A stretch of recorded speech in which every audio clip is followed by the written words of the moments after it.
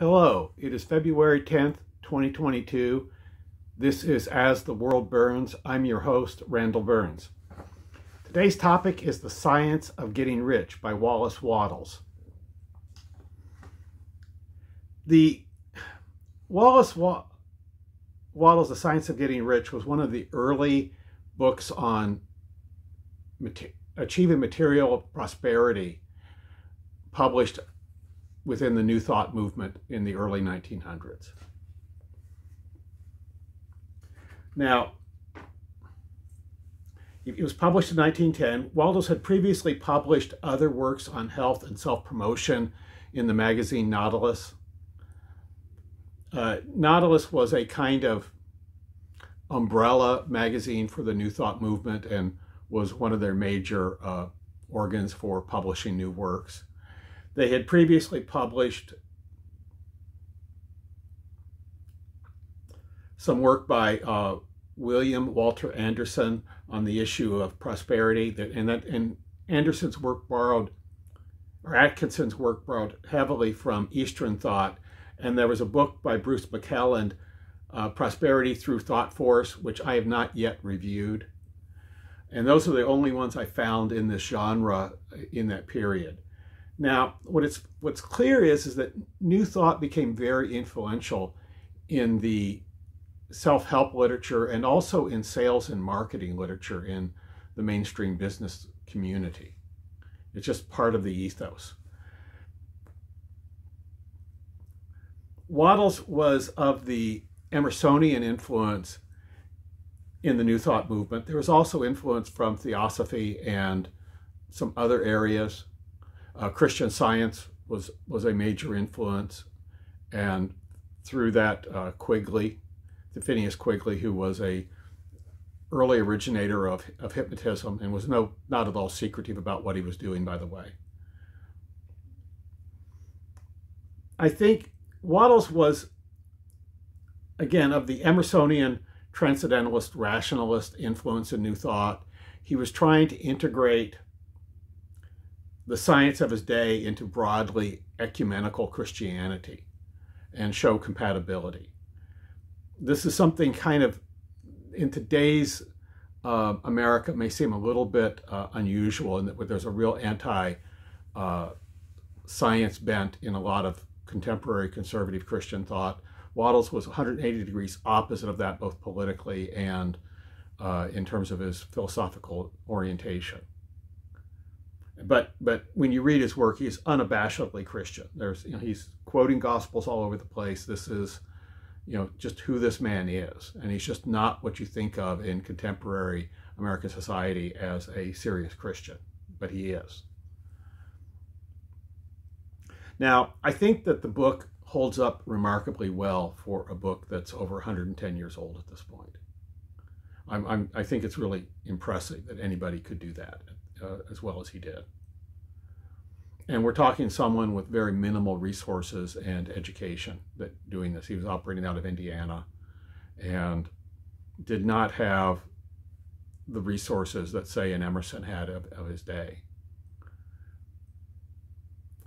The basic point of the book is the first step to advancing one's financial position is to change how one thinks.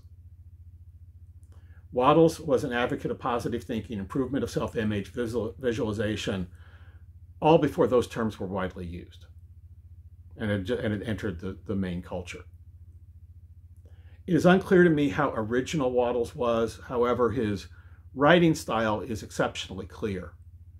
And so I think that he may have had influence in terms of popularizing ideas that were otherwise, for example, in Emerson, I think much less accessible.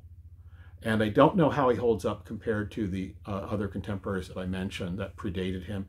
He was actually very critical of theosophy, and I am I lean that way also. Quite frankly, I think Helena Blavatsky may have had some mental, some serious mental health problems, and I'm not alone in that thought.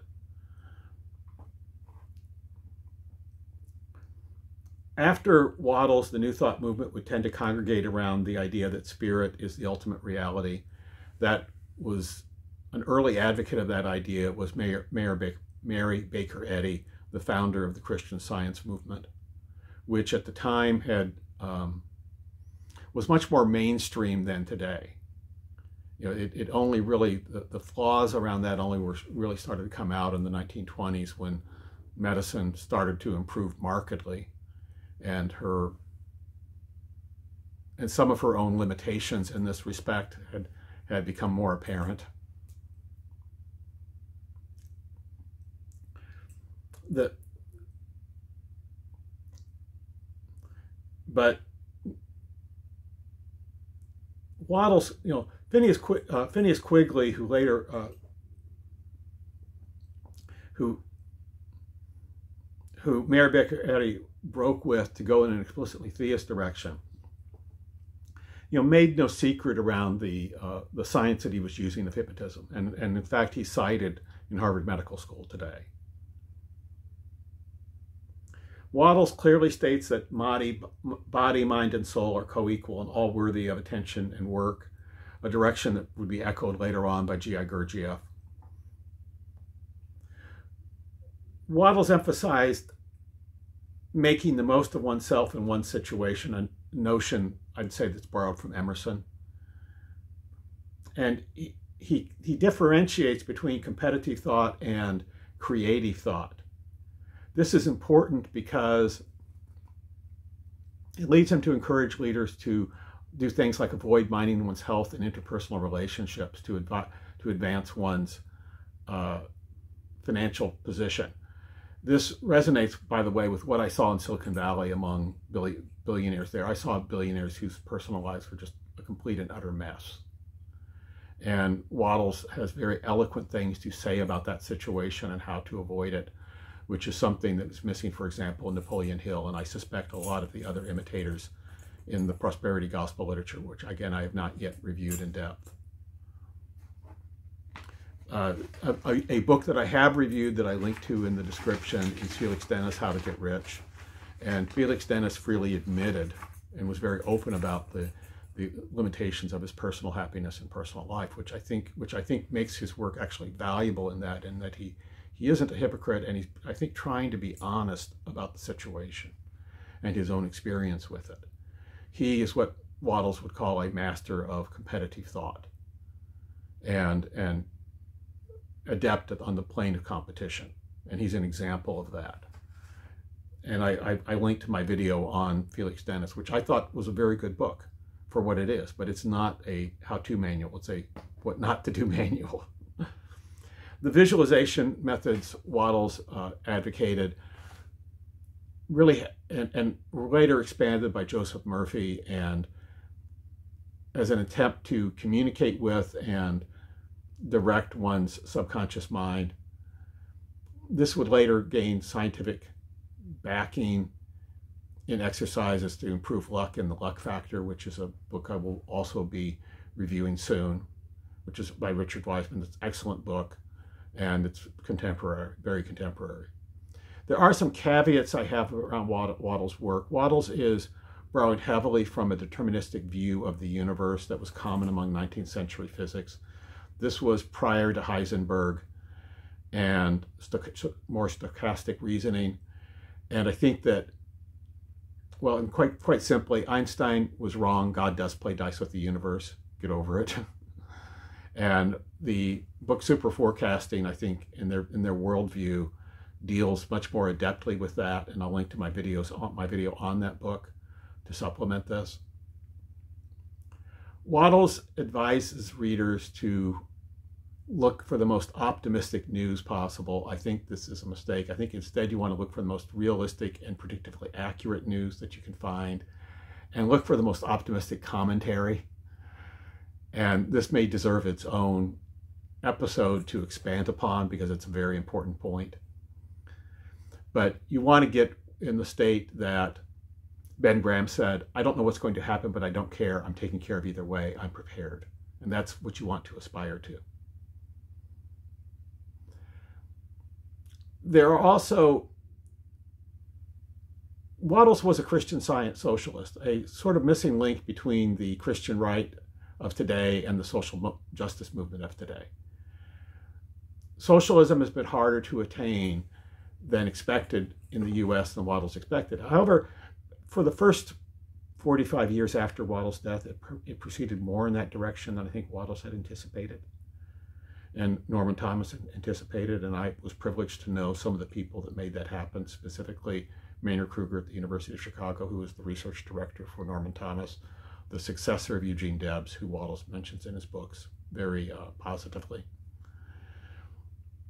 That again may deserve its own um, its, its own video episode.